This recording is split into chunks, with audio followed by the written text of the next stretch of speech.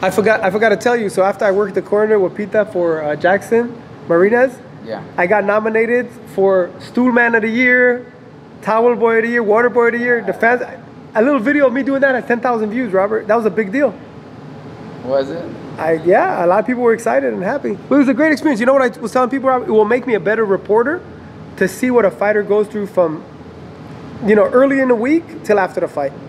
And actually, Jackson was very chill. There were other fighters in the locker room that were very nervous, that were just like, Yeah, with with Brian Viloria, we won the title in 2009, so that Okay. doesn't count. oh yeah, but that's one. Yeah, so but that was my second. That was my second Yeah. world champion. So that means that in the decade, in this decade, I did have 10 world champions. That's amazing. that, that is a lot for you know for a trainer. Different weight sizes, weight classes, Different- different everything, different countries. yeah. I gotta ask you this: Leo Santa Cruz against Tank, maybe pay per view early next year.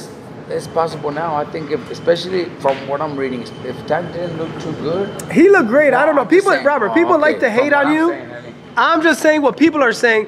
People look for a reason. I'm Look, also saying what people are saying. okay, if Tank would knock him out in one round, what would people say? If he knocked out Gamboa in one What round, everybody expected. oh yeah, he fought a bum. Oh, yes, he didn't. That's what he should have done. but you can't measure the heart. If Gamboa didn't, Gamboa fought his heart out.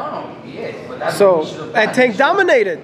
He should have stopped him and, and quit. That's Listen, Robert, if someone could punch you and twist your ankle in one punch or tear your Achilles, He that's some serious power. win that easy, Ellie. He was supposed to. Let's be real. Come on, don't change it. He was supposed to.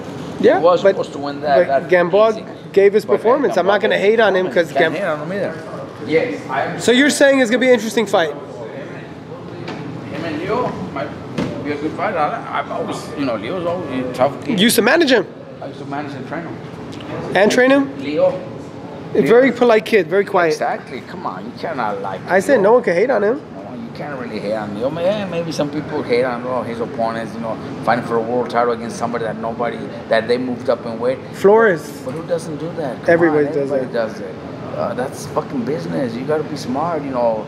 Very few fighters don't want to do stuff like that because they, they don't want their reputation like that. But fuck, man, everybody does it, man.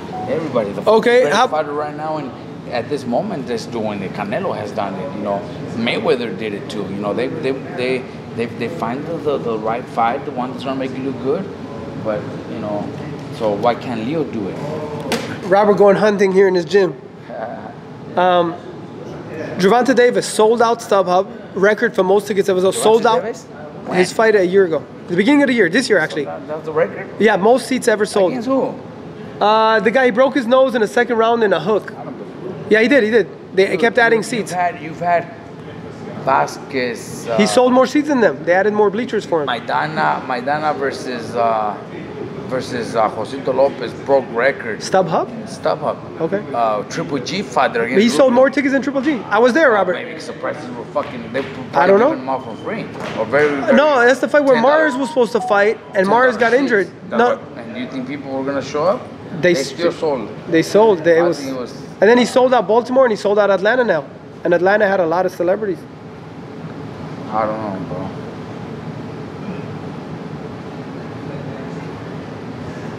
By the way, what's next for Vergil Ortiz? 15 and 0, 15 knockouts. Gervonta is a real ticket seller. Whoever said that is right.